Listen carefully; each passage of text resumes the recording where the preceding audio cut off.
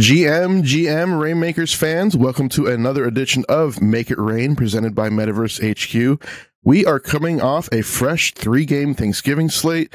Got a lot to talk about there as we digest our turkey from yesterday's uh, dinner and festivities. And we'll also take a look back at last week's slate and look forward and find some edges for this upcoming Week 12 NFL slate. Let's get it.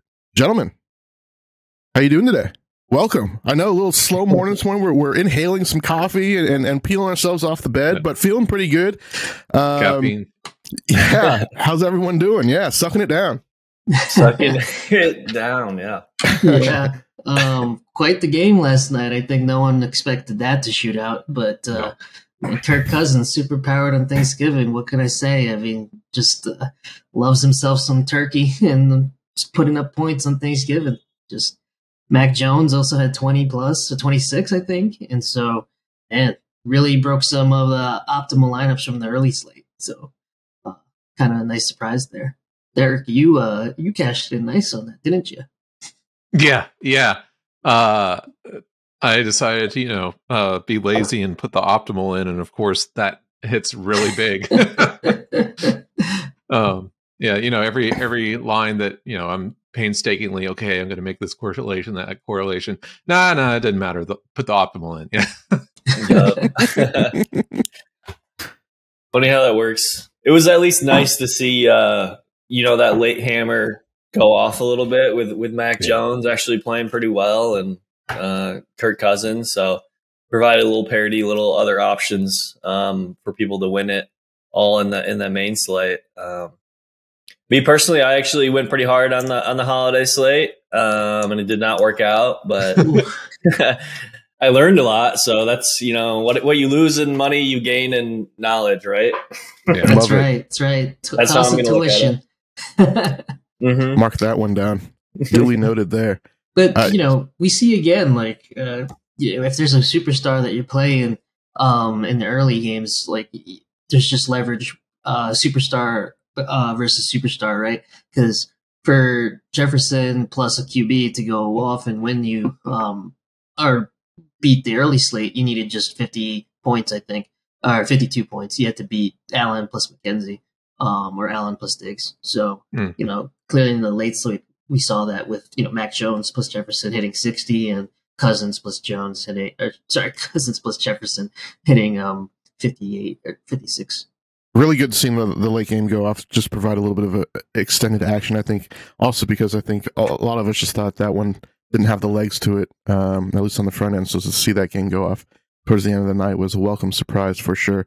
Um, I don't think we had any crazy sweats in the millie at least, um, but I think we had some of us had some live live action and uh, you know just the way the cookie crumbles uh, along the way, especially in chat and MVHQ. I think we had um, you know some some live lineups into into the last game there. So Mm-hmm. again, that's all we can really ask for. Um, but a fun experience nonetheless. You know, it was good to kind of get some additional fantasy action in on Thanksgiving Day. That's always a crowd pleaser. So uh, we'll, we'll take it, we'll learn from it, and we'll move on and look forward to the uh, the holiday slate um, upcoming here.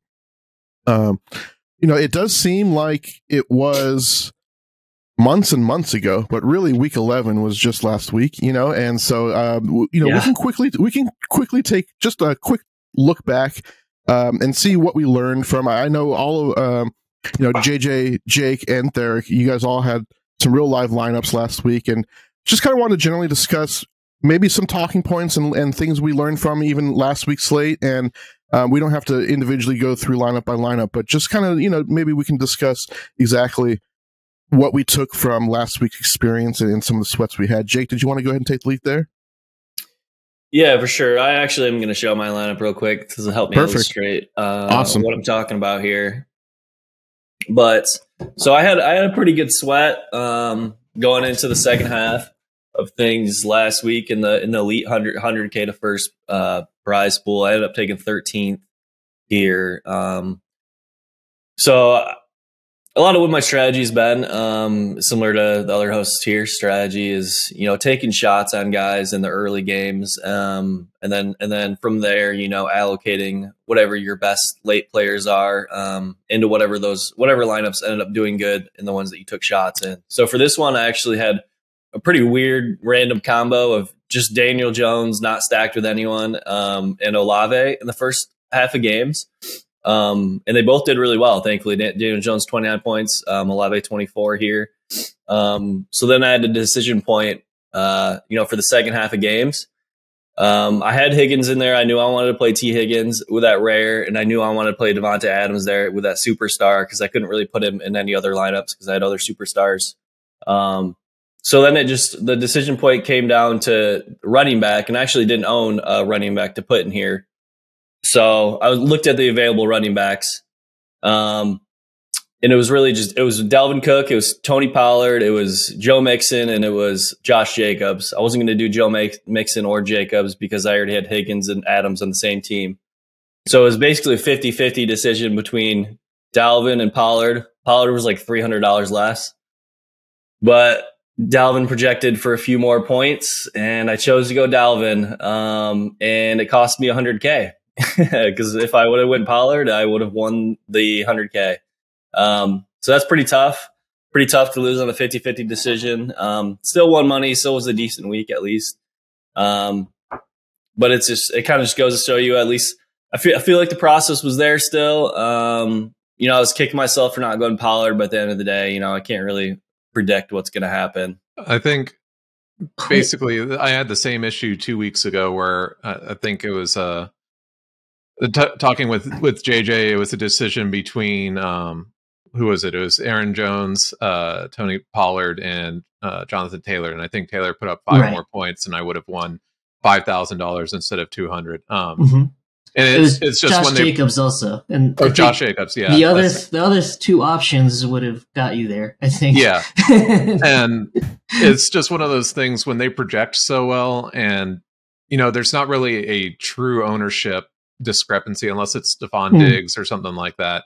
You're really going to see like 5% ownership and you can't really tell what people have. Um, just uh, if the optimal is not hitting, you have no idea what people have. And so it's just kind of like a go with your gut coin flip, like what you think it's going to be. And as long as the projections line up, you can't really be mad at yourself. I will say, yeah, um, you know, as long as you put yourself in position like that's yeah. all we can hope for. But if you click up one ahead of you, yep. you know this is look at this guy. This, this guy who scored higher than you. um, I will be kicking kicking myself for this one this week because uh, you know this one I just clearly made a mistake, right? And um, there was lots of late swaps. Had ten late swaps going. Um, it was all sorts of hectic, and just um, forgot to put a superstar in my best lineup. Right? Um, obviously, you know, I, I actually was pretty lucky to land on Pollard here. Um, uh-huh. You know, as I was making my lineups, he was actually the fourth running back that I liked. So, you know, I had Jacobs and Cook stacked somewhere else and then Mixon in a different lineup. And so those ones I just felt like had a higher chance to surpass this one. And so um, put Pollard here, was lucky to end up there. But man, Higgins was clearly a mistake because um, I had Davante and I put him in a lower scoring uh, lineup with two two flex uh, flex and running back player. So just wish there was like some indicator that there's superstar here, but something that I'm gonna just try to work back and um, keep better track of. Because if I put Davante here, I would have got third place. So uh, also cost me nice amount of money there, but you know at the end of the day, still still cashed. So it was a good score. Speaking really quick, speaking of third place, I'm just flipping mm-hmm. through the top lineups in the rare. Third place had Samaje Perine in their lineup. How the hell did they know that was going to happen? wow. It's I, we were talking. I was talking to Jake about this. I mean, there's some sometimes like you feel like you know I label my late swaps like X, Y, and Z. Right? X is like I'll put optimal into. Y is like I'll put some sneaky ones, and Z I'll just put like fucking hail marys. Right? Like let, let me just cash.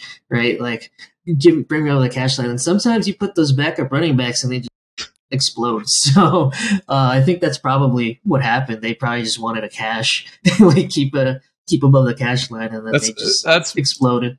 Honestly, this looks like a min cash lineup. It's Daniel Jones, Josh Jacobs, Amari Cooper, Chris Olave, and Samaje Perine. No correlation whatsoever. Um, it looks like someone just was like, I got these cards and I'm just going to throw them in and hope for a min cash, and they get third place for three thousand bucks. It's amazing. it's amazing. Yeah, you never know. You never know. Uh, never... uh, I was going to say I've seen I've seen some of the top pros, and that's something like we can talk as an overall meta thing. I've seen some of the top pros because you'll get guys like Samaj P. Ryan or Daniel Jones will have a 30 point game or something like that. I've seen um, several of the the top players make lines that you're like this doesn't cash 75% of the time, but if it goes off, you're probably scoring extremely high because it doesn't have any of the chalk pieces, but it, it has good players, but it just doesn't have any of the chalk pieces and any of the highly projected ones. So, yep. Like rather than just what I've been uh, doing in the past, which was just throwing that in the cash lineup, because I'm like, oh yeah, this will easily get me 60, 70 points, but it has such a low chance of 150. Um, I've seen some of the the sharps actually uh, do that, and just uh, in the you know one one time all season that it does hit, it's going to hit for a lot of money, and it also costs them probably half as much as all these other top lines, like you know building building a Daniel Jones or a Trevor Lawrence line uh, stack or whatever is going to cost you half as much as it is building a Josh Allen. So. Yeah, and I think um, it goes to your point, Derek, right earlier in the season um, the bankroll booster cash line and like the fiat contest cash line are not crazy different, right? Um, only a couple points maybe, and you know the upside yeah. from putting it into that main contest is just way more than uh, just a flat payout from the bankroll booster. So um, totally, totally see why they do that, and kind of goes into our late swap strategy, right? Um, where you know we we buy a lot of dead players to swap out, but sometimes it's just better to pay up a little bit more for um, a player that can actually score points, right? Because you never know um, what can happen. Real quick aside on uh, what you just brought up, JJ, with the contest selection between the bankroll booster. Um, I personally like never. I don't know if I've ever played the bankroll booster just because of the lack of upside. And like because, like you said, you never really know. But I'm curious if you guys do, and like in what situations you would you would choose to do the bankroll booster instead of playing like the main tourney. I I started doing it early, um, earlier in the season as an experiment. Like I bought twenty of the same players um, for for the five spots and did pretty well with that. But in each of those, like I would have been better off placing it in the main contest, right? Because the cash line wasn't um, crazy high, and then there was one week I think I scored hundred from that cash lineup, yeah. right? Which was would have would have gave me a lot more money from the main contest twenty times, right? So it's like, um, I, I don't think there's ever a scenario. Maybe if you play, maybe if you play a defense and you just wanted to take a shot, right? Like you had leftover defense from showdown um, lineups or like a leftover kicker, and you're like, eh, maybe I'll maybe I'll just min cash with this. But even then, you know, we've seen Tyler Bass score 23 points at the kicker position. So, still, um, still, like, why why play this bankroll booster? I don't know. Yeah, that's basically uh, the reason I could see it is if you're just buying a bunch of as cheap cards as you can, um, playing defenses. I, I always did the experiment in playing one or two tight ends in the lineups because I know that they're not going to go off for 30, but they'll get me uh, on the high end 15, 20 points. I've had I've had lineups like Trevor Lawrence lineups that have just gone in uh into the cash line because I figure, oh, you know, Trevor Lawrence um, I'll just throw a tight end that that I don't like, and then uh, it'll be like Cole Kmet puts up twenty, Trevor Lawrence puts up thirty, and everything like that. And uh, I probably should have played this in the the tournament. Yeah, I'll say probably I take it back. It makes sense maybe at legendary and reignmaker tier where there's less entries, right? Because yeah. then then the cash line probably separates a lot more. But in elite yeah. and lower, like there's way too many players. I think in the elite cash contest you get 300 people plus right? And then rare way more than that. So um, doesn't really make sense at that point. The the only thing I've seen is that people throw their worst lineups in there, and so if you're just looking like to if you're not worried about like uh, hitting ten thousand dollars or whatever, if you're just looking to pay off your uh, your cards halfway through the season, uh, then it's a good place to do it, especially if you're building those cheaper lines. Uh, just because like usually it's there's I mean there's a lot more lines than there is payout prizes, but at least a third of those are people throwing in injured players and just praying for a min cash. Something I was thinking about just as as I'm watching myself try to catch back up to what I put in on Reignmakers. Um, that I wonder what do you guys think for next season is just paying for those lower tier quarterbacks that have much less chance of ever winning uh, uh, a takedown or anything like that, but will cat will basically pay themselves off a lot quicker. Like building a uh, a Daniel Jones uh, line or a um, you know a Jared Goff line or something like that at the beginning of the season. That's only going to cost like let's say a, a rare line. It's only going to cost you like 150 bucks to build build five cars of that caliber, and you probably have one chance, maybe two all season for that to actually go off. But Yeah. it's going to cash enough consistently that you've paid off the cards halfway through the season. Whereas if you uh, build a five hundred dollar, uh,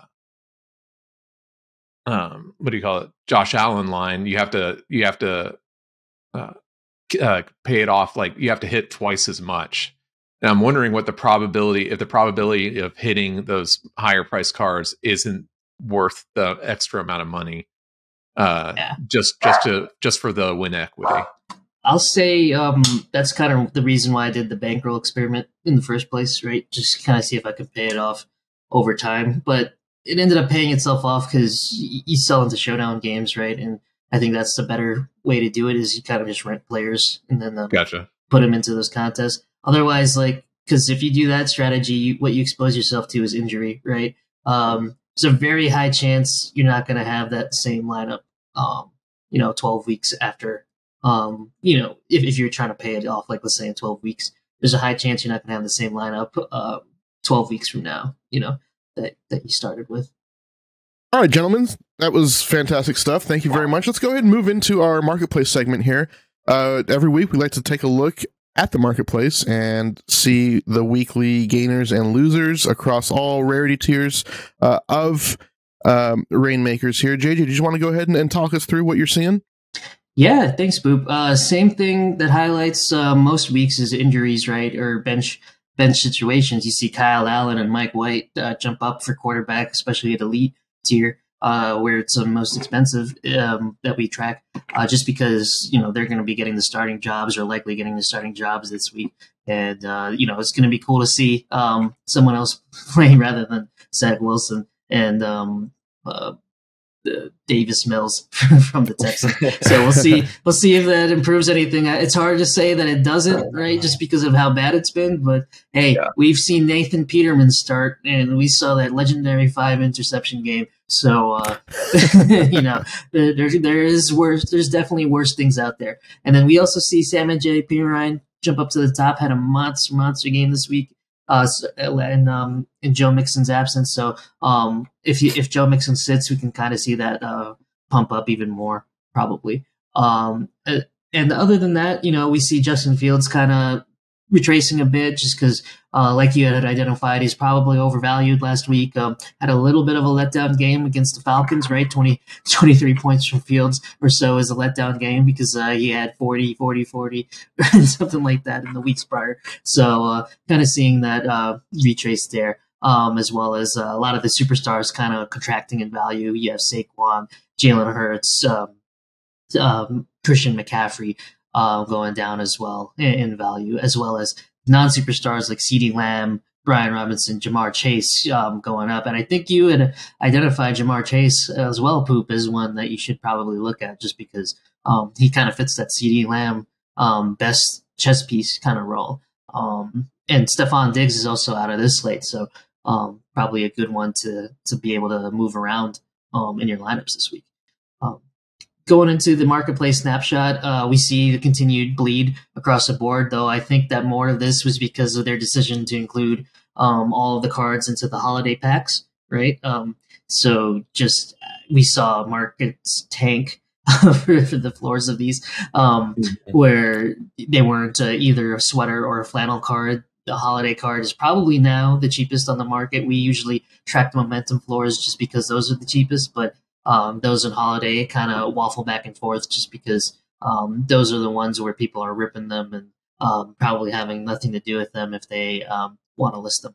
So uh, you see the good players as a whole just holding up their own. Um, it's really not. It's really a tale of like who is a good matchup and who is a good player. Um, you know, whereas earlier in the season we saw a lot of the injury situations kind of pop up these players to the top of the charts. But uh, you know, CeeDee Lamb, AJ Brown, Amon Ra, Geno, Justin Jefferson, Tua, Mahomes, Kelce, Diggs, and Allen just kind of lighting up the charts there in elite, as well as uh, a little bit below that in the elite is Walker and Waddle uh, as well. So not much really to write home about in terms of that this, this week, except that uh, the floor continues to fall out, and you know something to watch is um, we after week 14 is when we'll get the 50% off momentum packs, and I expect these to drop a lot further.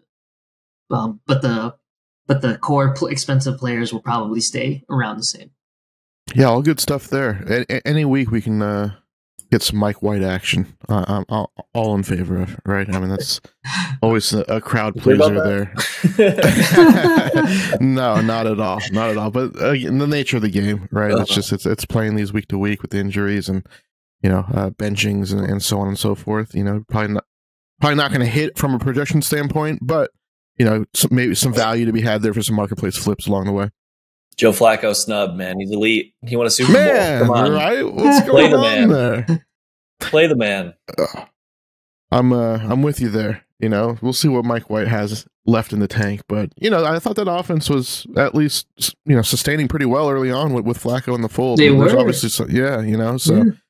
At least the, the the young receivers were getting their looks, and, and you know it was kind of moving moving right along there. But mm-hmm. there, there must be something going on behind the scenes. Maybe Flacco wants to be more retired than playing. You know, maybe that early season run made him realize that uh, his arm doesn't yeah. recover like it used to. You know, something like that. So I think it's because he went one and two, and it was both losses were against divisional opponents. I bet yeah. that's probably, but probably has to play into it. Sure, but yeah, they'll absolutely. they'll they'll realize the mistake. I would say after a couple games. yeah, I would hope so. I would hope so. Good stuff. Did you guys, uh, uh, JJ? Did you have any uh, overpriced, underpriced, uh, or overvalued, undervalued players that you had your eye on? Yeah, I think um, in terms of undervalued, right? Um, I just picked up an Olave at 250. I just think that's way too cheap for the role that he's getting there. Um, as well as I'm looking at Tyler Lockett, right? 150 for an elite. I mean, he's going to be in the playoffs uh, almost assuredly. Um, Metcalf is around that 250 range as well. Uh, so a lot of these guys um, just not getting the respect that I get that people probably script this out that Kenneth Walker is going to get all the touches, but you know they're going to throw the ball, you know, 30, 40 times a game. So um, probably going to see some some one of these receivers get a good score against the Raiders. Like yeah, I, I, think it's just a you know a personal bias against Tyler Lockett too. That's like, oh, he can't have a ceiling game, even though I don't I don't think uh, DK Metcalf has scored higher than him all season. Uh, as far as like, I think DK Metcalf's ceiling has been lower than Tyler Lockett's this season. So, and um, as far as overpriced, like I'd probably say that um, Geno Smith is getting in that range, right? Five hundred bucks. Um, although that's you know again a, super a solid matchup um, that they have, but again, kind of hitting that supply crunch in in that Geno Smith had, I guess, a, a lot mm-hmm. of unreleased card cards. That's why I don't get. Sorry, a little rant. That's why I don't get why they haven't released like the uh, um, the Jimmy Garoppolo, the Geno Smith cards. They're throwing out stupid third string wide receivers that will never see any playing time instead of releasing more Jimmy Garoppolos so that, uh, or Geno Smith so that they're not so completely overpriced and you can't buy one it's weird because you know they put Hopkins on the waiver wire, right, and he had about the same amount of cards released. So I don't see why they um, why they wouldn't put this kind of player, these kind of players in the waiver as well. It's just incredibly annoying, especially if you're playing showdown with like San Francisco. It's like, well, I can't buy Jimmy Garoppolo because I'm not paying 150 for a, a showdown slate card. Yeah, and he was the nuts this past yeah. week. but yeah, um, th- those are kind of my overpriced and underpriced and uh, short, shorter than usual Theric rant. I kind of wanted to hear you go off. Um, how do you feel about Lat Murray at 140 bucks in the lead? oh, I mean, you can you can just give me the 140 bucks and I'll be perfectly happy with it. You know, if you're gonna throw money away, I'll take it. But uh, yeah, good God, like you know, Reignmakers, it's not, oh, Latavius Murray's $3,000 and I can jam him in as a, a, minimum price running back that regular DFS is. Do you think that he's scoring 30 points and I have a, a bridge to sell you? Like, like, there is no chance in hell that on the lowest total game in one of the worst offenses, if not the worst offense in the NFL, that this guy is going to go off and be one of the highest, uh, uh, highest running backs on the slate. Maybe maybe one out of 10,000 times, but it's definitely not worth $150 to find out. And no one's going to play him either. Like no one uh, is going to be playing him, and I guess you could say, "Oh, that's that's really sneaky." Yeah, so is playing Olamide Zaccheaus um, every slate, and guess what? His his moments are still one dollar.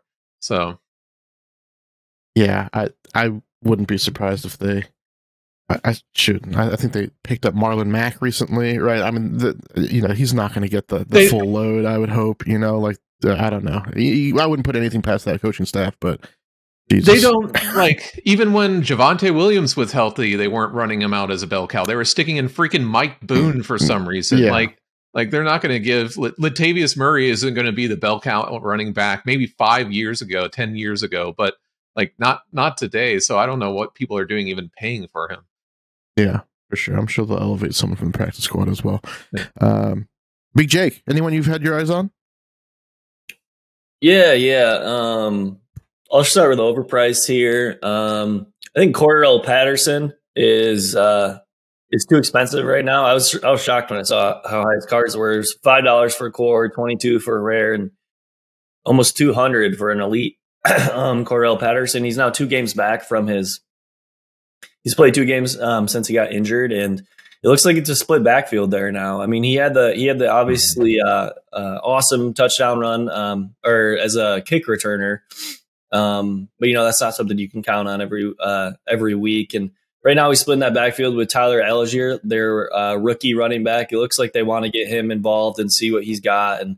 He's looked decent, um, so they'll probably keep going with that split um, as a as a five and six team. You know, who knows if they make the playoffs? Probably not. So um, I think he's I think he's a little too expensive, and if I had him, I'd probably I'd probably ship him out um, because I, I, don't anticipate him really dominating that workload um, for the rest of the year.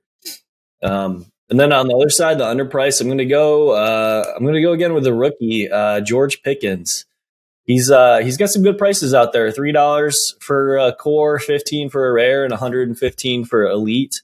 Um, George Pickens has looked nice. I mean, his last game, he almost had a huge game. He went, uh, I think he had like 80 yards receiving and a touchdown. Um, and he actually also dropped like a, I don't know if it was a drop, but it, was a close play. It was a tough play, but uh, it was like another 50 yard touchdown as well. If he would have caught that, then I'm sure this price would have been a lot higher. And I mean, this guy's an elite talent. Um, you know, he's uh, he's got high draft capital, um, and you want to bet on these rookies, wide receivers in the second half of the year. Um, you know, as they continue to get, uh, you know, integrated in the offense, um, used to the NFL. Um, and he's kind of paired with another rookie quarterback who's also um, taking some nice steps. I'd say I w- I'm not going to call Kenny Pickett good yet, but he is all right at least, and he's he is shown that he's willing to sling it a little bit, um, and that's what we want out of, the, out of your fantasy quarterback. So um, yeah, I like I like where Pickett is at right here. You know, he's got some nice upside in the rest of the year, um, and he doesn't have any buys left. Like Steelers aren't going to make the playoffs, but you will have him for the rest of the regular season and no buys, and he's got some pretty decent matchups as well. So love those calls, love those takes, everyone. Uh, a couple names I'll throw out here um, all undervalued in my opinion. But I think Amari um, has some room to grow here with um, with Deshaun coming back uh, soon. I think Amari has already established that he is still a true alpha receiver. Uh, even in this Cleveland Browns offense, uh, he's been a target hog. Obviously, you're going to have to ride the roller coaster week to week with him just a little bit, but I, I do think that firms up with Deshaun back in the fold here soon enough. Uh, six bucks in core, 19 rare, 340 in elite. Some of that might already be priced in, but hopefully, uh, I, do think he's going to have some more boom games in his portfolio here um, down the stretch. Uh, to Jake's point, the rookie receivers, Treylon, I'll piggyback right off of uh, last week's um, performance, uh, finally breaking the, the 100 yard mark. Treylon is another young stud rookie wide receiver that offense is still going to roll right through Derrick Henry, as we know, but uh, he will be the target hog moving forward here. 220 in core, 12 rare, 120 in elite. I think there's a lot of value to be had there as well. Um, last one I'll throw out there is Mike Evans. I think I think I'm I'm a glutton for punishment. I will go back to the well on this Bucs offense. Um, and obviously with Evans, you get a lot of that touchdown equity. Right now, he's six bucks in core, 27 rare, 289 in elite. Um, any given week, he is a, a, a, bet to score a touchdown or two uh, and be the wide receiver one at the end of the day. So um, I will place a bet on Mike Evans as well here as we move into the end of the season. Um, good stuff. Good stuff, gentlemen. Um, we can move right into our favorite stacks of the week. Um, just quickly glance at the slate. Uh, I think we were discussing a little bit pre-show just how a lot of the the the, the sexy matchups this week line up in the afternoon, um, the afternoon slate, and uh, leads to a lot of attractive late swap options. Obviously, uh, I think a lot of our core plays are going to be coming from this afternoon spot. Uh, all the high total games are, are, are there as well. So, um, Jake, did you uh, want to go ahead and lead us into your favorite stacks this week and what you've been looking at? We got the game totals here um, to kind of identify spots to attack here uh, from a stacking perspective. I'm gonna uh, I'm gonna defer this week and not go for the highest total game and let one of you one of you guys go for it, as I feel bad taking it every week. Um, but I'm actually to go for um, the team with one of the highest point totals, and that's the Miami Dolphins here in the early window. Um, you know, we've we've seen this offense like we've seen Tua and you know Tyreek Waddle. Um, you know, they won a couple slates for people um, so far this year, now they got a great matchup against the Texans. Um, you know, they have a very high uh, pass rate uh, over expectation as well. So while we do um, expect them to lead. As you can see, they're a 14 point favorite here um, on the top. Um, you know, despite that, I think uh, you know I think they'll continue to uh, you know put on the gas here, and I think they could come out to a, a really early uh, you know lead and have an efficient day on the passing game. So if you want to go to a Tyreek to a Waddle, um, you know I think both are definitely in play. If you want to double stack them as well, it's probably a game where I wouldn't. Um, I say I say usually I think you can double stack them, but because of the fact that it is, um, you know, there might not be a lot of competition on the other, other side from the Texans. Um, I might just go. I might lean um, a single stack here instead of the double stack like usual um, for the Dolphins. Um, but um, I do think the double stack's viable as well. And you know, we just we just see these wide receivers really blowing up in such a concentrated offense there over at the, over on the Dolphins. Um, so yeah, that's my favorite of the week. Awesome. I love that call. Yeah, we've seen them break a couple slates already this year. Don't see any reason why they can't this week. JJ, did you have any thoughts there? Yeah, um, it's it's a weird weird week.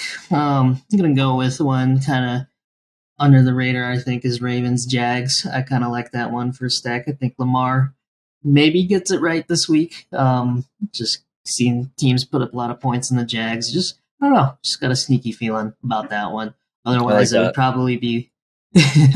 otherwise, I'd probably be looking at the Browns Bucs, but there's you know weather concerns like it's raining or whatever. So um, I, I think that one is also a good one that I, I want to look at for possible game stacks. Just keep it kind of contained. I don't I don't want pieces elsewhere. Just um, you know all, all of it in one game. It makes sense to me. Yeah, I think those are good thoughts there. Derek, did you have your eye on anything? Uh, Probably uh, Geno Smith with the Seahawks stack. Uh, everybody's going to be on Kenneth Walker, uh, but I believe last week he actually played in the receiving game. He actually caught uh, some passes, which was which is part of the reason why he's uh, so highly projected. Uh, they, he's got Lockett, he's got DK Metcalf, and they're playing against the Raiders, which is just a god awful defense. And so, uh, I'm not not really afraid of of anything from the Raiders. Yeah. Uh, and then if you did want to do a bring back, you have elite options in Davante Adams and, and Josh Jacobs, um, since it's such a concentrated offense. So it'd be a pretty easy game stack. The uh, I think the uh, totals like 47 and a half and um, the game's supposed to be close. So it should be interesting to see, but that that would be my. I think a lot of people are going to go for the Chiefs just because it's easy. a lot of people with uh, Ja'Marr Chase are going to go to the Bengals uh, and, and, things like that. But Geno uh, has has a pretty good floor and a, a, pretty good chance at a ceiling game if the Raiders can do anything. So I like it. I like it. Yeah, uh, there's. I, of course, the, the Niners are, are appealing here. Uh, so are the Chiefs, right? Uh, in the higher total games uh, in the afternoon slate, the, the, Niners are just so sexy across the board. But you kind of get they're not necessarily a lot of playmakers across the board, but none of them are a funnel, right? Mm-hmm. So you, you really kind of have to guess week to week. So you can definitely make a case uh, to to play a variety of Niners. I don't think you're stacking Garoppolo or anything like that, but um, individual pieces from that game, or maybe some mini stacks, some skinny stacks, uh, will, will go a long way as well. So that's kind of where my eyes are looking. But it's going to be kind of, um, you know, you're going to have to decide between, you know, Aiyuk and, and Deebo and Kittle and, you know, even CMC with with a, a, a, lesser workload than we're used to seeing from him, especially from that superstar spot. So you're going to have to make some gut calls there, but there will be points scored there against that New Orleans offense. And I think JJ's point, Olave is, is very underpriced right now for the role he has in that Saints offense. So it's a very easy bring back as well. Wow, uh, I was expecting uh, some Chargers or Cardinals call, but no one no one went for it. I left it open for you guys too. I was trying to be nice, and you guys didn't even take it.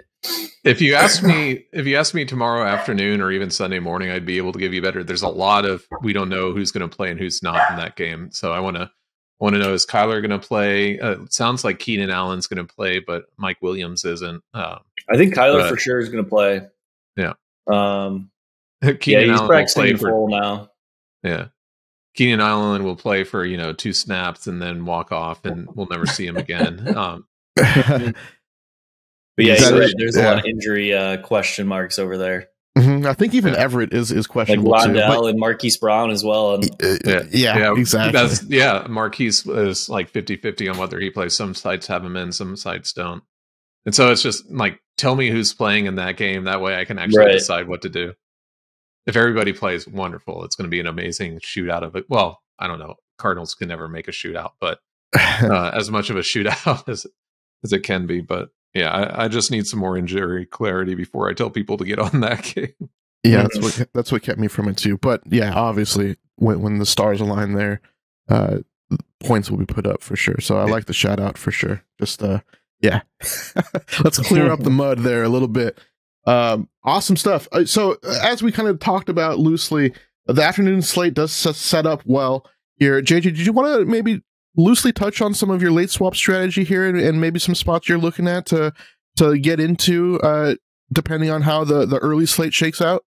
Yeah, yeah. I'm going to start off with a bunch of kind of stacks at quarterback because a lot of the superstar quarterbacks are um, on the early slate. Like you got Burrow and uh, Jackson uh, and, and kind of have um, a late swap a late swap strategy with that. There's, there's a lot of good running backs in the later games. Um, you know, so I'm gonna I'm gonna start probably with a bunch of one one stacks, um, like just QB plus wide receiver or QB plus tight end stacks there. Um, then take some shots um, with running backs in the early slates as well, um, and swap into some of these players uh, just to kind of fill out the pieces there. So like, kind of want to build a core that that fits around like the Lockett stack, like Derek mentioned. Kind of want to build one that that builds around um, Mahomes uh, as well, and then also the flip side, right? Because we, we got like Mostert, um, I think that is not playing um, for for the Dolphins, right? So I, I kind of want to see if um, Jeff Wilson pops off, and then kind of slot slot those things around him. Um, it's against the Houston run defense, so he has exactly. a very good chance. Yeah. yeah. And then it's really tricky this week with superstars, right? Because you got a lot of them. Um, a lot of the skill position players are in the late games, right? You have Ekeler, you have Davante, you have um, McCaffrey, um, just just to name those. And you, you, know, uh, in the early one, you only have Henry uh, paired with a bunch of quarterbacks. So, um, gonna have lineups where it makes sense. Like I'll, I'll have Henry probably in my in my um, Brady stack there, just so that like I can swap um, if, if both of those pieces pop off, I can swap into the later game. Sorry, I meant Chubb. Sorry, I meant Chubb.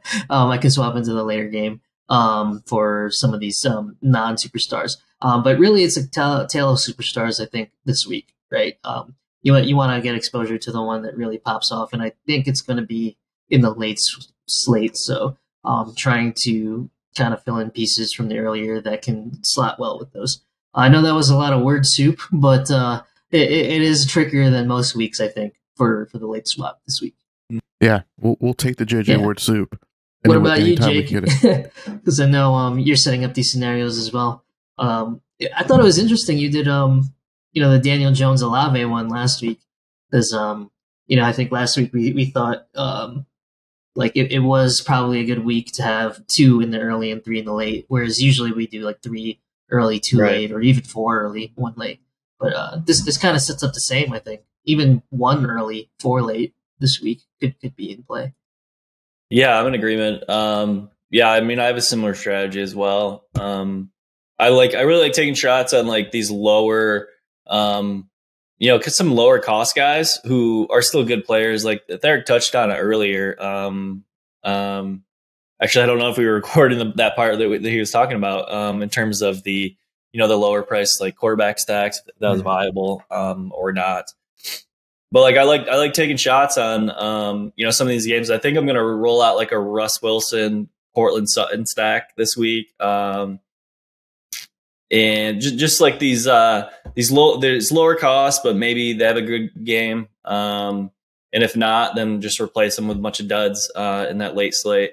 Yeah. Um, but yeah, like uh, Garrett Wilson is another guy. You know, with with maybe White Mike White's there. Um, you know, taking I have a couple of his cards, so just throwing like just pairing together. Like if there's any correlation there in the early games, um, or if not, I like I like just throwing in like a couple guys um, in one lineup that are good, but not like maybe they're not great, um, and you just and you just go for it all. Um, and if they have a good game, then you can you can uh, pair them up with these other, you know, these other uh, late game hammers, and it's usually going to be like a lower owned type lineup. Um, you know, not maybe not in like total ownership, but in terms of like who is paired with one another, like a lot of people aren't going to have like, you know, like a lot of people aren't going to have that that type of combination um, because they're they're just playing the pure like highest projected.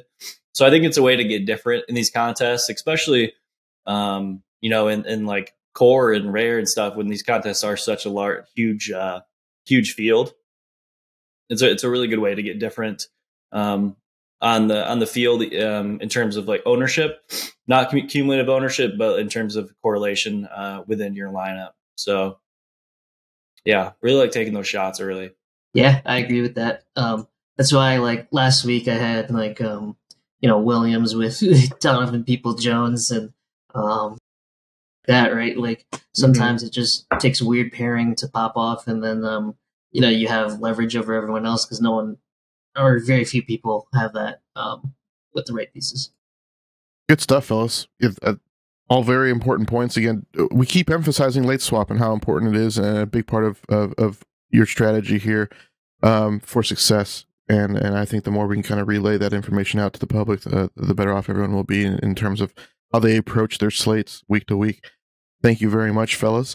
Um, give it to us, Derek. What's on your mind? What do you what do you Oh, think? I was just thinking, like, like who, who's y'all's most like like you can't stand it when you see they're doing well player in the NFL. Mine's Jamaal Williams. Whenever I see him go off for twenty, it's just like I hate this guy so much. Keeps get, getting there, and it's like he he's freaking Derrick Henry or Nick Chubb, but like worse than them, where he doesn't catch a single pass, but because they give him all the freaking goal line touches, he gets three touchdowns. I'm I'm just looking at last week's thing where it's just like, and he almost did it. He almost did it in the the Thanksgiving slate, where it's just like, oh God, not again. He's going to be the freaking top uh top running back in Thanksgiving too, because they're going to give him all the freaking goal line touches, even though Swift gets a touchdown every time that that he's given the ball enough. So like. like, I don't know. He's like unnecessarily tilts me for for no reason other than like he is a terrible play in DraftKings, but he s- keeps getting there. Yeah, I don't know that I have any like that anymore. Um, used to be lots of tight ends, right? Because a lot of the time they get one, one, one, right? As their squ- their stat line, like one catch for one yard for Yeah. one touchdown, and kind of just just uh, vulture you that way.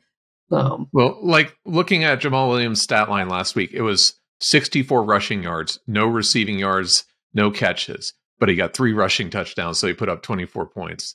Like, mhm. yeah. Come on, like, like that is so freaking tilting to me. But it's the the Garrett Blount role, man. it, it It's just, and he was a great play, and that that year tilted me too. I'm like, this guy Mhm. sucks. He gets no rushing, but he'll put up 15 to 20 points every uh, week because they stick him in in the goal line and he's able to break through on a regular basis.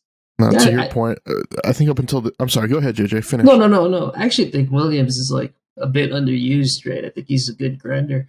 I think they need to grind more over there, as Hmm. you know, pause they're at a- on that. But yeah. They're at a three-headed committee right now with I don't know why they're playing Justin Jackson, but uh, yeah, it's Justin Jackson, Jamaal Williams, and D'Andre Swift, and it's just none of them are really good enough to to score high to win, except if Jamaal Williams gets three goal line touchdowns. So All right, gentlemen. Thanks very much for all that. We can go ahead and transition into our bankroll challenge segment. Uh, it's a weekly segment we like to do to kind of showcase that you don't necessarily need a, a, bunch of uh, a bunch of money, or you don't need to be a Reignmaker's whale to to have success or have fun with Reignmakers. We started with a fifty dollar bankroll, and we've been kind of grinding out the season week to week, and have cashed essentially every week to this point, making some adjustments along the way. Um, Derek, did you want to go ahead and lead into kind of what we're thinking with our current lineup, some adjustments we're going to make, and and and how we're going to approach it moving forward? yeah, so this week's really split since it's Thanksgiving, and so we're not really going to be able to play without selling half of our team. And after discussing it, we kind of want to readjust and focus our team on playoff bound players so that we can keep playing it after the regular season ends. And so I think the plan right now is to sell off most of the team, if not all of it, and uh, build a uh, playoff bound team uh, and ride that for the rest rest of the season. Um, we've been adjusting around and we've been making little by little, but eventually it's going to get to the point where we just can't play the cards anymore. And so the strategy going forward is to find basically the cheap, cheapest stack that could go decently into the playoffs and uh, are playing all playing on the main slate from here until the end of the season, and then uh, and then we should be good to to ride it and hopefully make some profit from it. Yeah, I love that. And and currently our bankroll sits at what again? Uh, right now we are at uh, before we sell off, we are at twenty one dollars. So uh, we should have about forty to fifty dollars uh, uh, once we sell everything off, depending on the prices and everything like that. But perfect. With, with a Marquise Brown, an injured Marquise Brown Yes, on the and- sidelines. And we do have a Marquise Brown to toss in uh, for uh, but who should be back if not this week. He'll definitely be back next week. So Yeah, looking forward to see how we can kind of adjust and maybe finish in a top 25, top 20 range, you know, as we kind of close out the season here. Jake, JJ, did you guys have any thoughts here? Moving right along. No, I mean, uh, looks good. Um, I know we have um, Tyreek Hill as our superstar um, in, in this lineup going forward, and probably if we can get to Tua, like that sets us up pretty well with Lockett, Tua, Yeah. um, Hill for playoff bound team, and so agree with the strategy here. We're moving right along into the close of the show here. Another weekly segment we like to do just to kind of keep the G- degen juices flowing right along is our weekly pack rip uh, of varying tiers. This week we're going to roll out a rare pack. Uh, Mr. Jake, did you want to go ahead and do the honors and see if we can hit it big? Yeah, yeah, for sure. Um, unfortunately, uh, for this rare pack, there's no. Um, oh, I was in the wrong spot, but there's no uh, ability to to win more than just a rare in this one. That's all I got. Uh, but hey, maybe we'll get a good player. We'll see. So let's get it going. Let's good luck, good luck. I'm feeling it. It's getting a little warm in here. That's right. Give it to us. Oh, it's a rare. Oh shit! Let's go. Uh, Juju. Hey, Hey. okay. Okay. I'll take that. we will That's- take Juju. That's really good. Yeah, that's, actually probably really good. Your best hit on stream. We'll definitely take Juju. Juju. He is he's playable. He's he's come on strong. You know, uh, you know once he gets back healthy and stuff. But he's had a nice Yeah. nice run recent week. So Maybe Uh, maybe one more week out with the concussion, but he should be back after that. Pick up and, uh, pick up and right obviously left he's going to be the top receiving off option for Patrick Mahomes. So it's going to be really good. Toney, Never. Toney injured again. You know, death taxes and Toney Yeah. questionable. is, is it a hamstring again? Is that what popped Hamstring, up on him? Yeah. Don't shoot. worry, it's Yeah, Justin Watson season now. It's going to be exciting. Yeah, I feel that. You know, hey, that that KC's just another offense where they like to spread it out, Yeah. but that's why it was nice seeing some funnels going uh, um, Juju's way because it seemed it's always nice when Mahomes can kind of lock onto someone else outside of Kelce. You know, so um, well, awesome. We will take Juju to the bank with us and close out the show appropriately there. And thank you for the pack rip there, Mr. Jake. Uh, as always, thank you to everyone watching another episode of Make It Reign here. Always enjoy doing the show uh, with you guys and with everyone watching. Feel free to go ahead and comment, like, subscribe on all of our socials here below. Uh, we also upload the show as a podcast. So if, if you don't have time to watch it as a video, uh, feel free to check us out. All of our links will be in the description down below. Uh, so make sure you check us out there if you want to tune in from a, an audio only production standpoint. Other than that, also think about joining us here in MVHQ. We have a lively thread of Reignmakers and and DFS action. I know uh, some of the NFT stuff has been a little bit slower. Always po- pockets of activity throughout the landscape of uh, crypto and Web3 and NFTs and Reignmakers and DFS, whatever it may be. So we're always chatting, we're always talking, we're always trying to find edges inside MVHQ. Feel think about joining us uh, along the way. We'd love to have you. Our links will also be in the description there. On that note, good luck to everyone, and let's make it reign.